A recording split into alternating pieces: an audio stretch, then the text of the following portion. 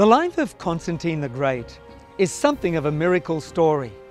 It's packed full of amazing coincidences, the most unlikely outcomes, and astonishing achievements.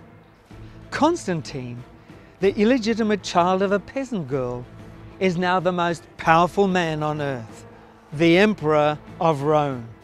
And what he does next will change the world forever.